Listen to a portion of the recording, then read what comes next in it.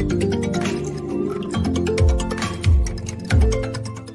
everyone, welcome to a brand new video here on AviationCult and today we will talk about uh, the new order for Airbus A320neos. Um, Aegean Air, which is an airline from Greece, uh, has ordered uh, $5 billion uh, worth of Airbus jets. Uh, this this this order is to renew their fleet of single aisle planes uh, such as the Airbus A320.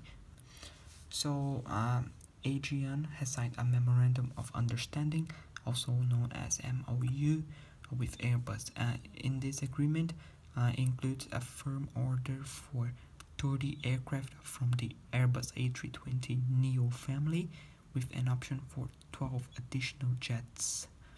Um, the A320 Neo it's um, beneficial for the airline because it has offers more fuel saving of 15%. Um, Aegean uh, Air currently is on a fleet expansion and this is why they want a new aircraft. They want to renew their fleet uh, between uh, 2020 and 2025. Um, 10 of these 30 jets uh, will be A321neo and 20 would be uh, the smaller version uh, which is the A320. Uh, this is very exciting uh, for Airbus because Airbus um, hasn't received uh, many orders uh, in the past few months. Um, so this is good for Airbus.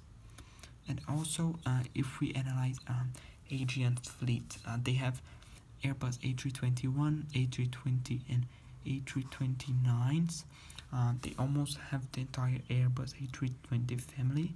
They only don't have the A318. Uh, the airline also has smaller aircraft such as the Dash 8, uh, Q400, and the ATR.